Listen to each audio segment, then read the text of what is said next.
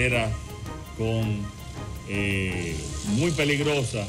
y que hoy pues se hace eh, menos peligrosa porque es una carretera de montaña, pero ya con tres vías en los lugares más necesarios. Por lo tanto, creo que es un gran aporte al desarrollo económico, turístico, transporte y que finalmente eh, los mocanos van a tener un acceso rápido al mar y también la producción agrícola, señores,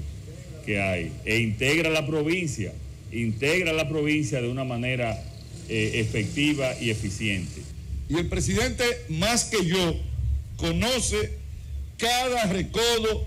de esta carretera, lo que había sido y lo que hoy se ha convertido y se ha transformado esta vía de unos 40 kilómetros que une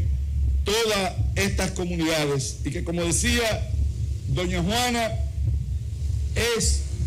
una carretera que en sus inicios los propios comunitarios a fuerza de pico y de pala abrieron una trocha para comunicar toda esa parte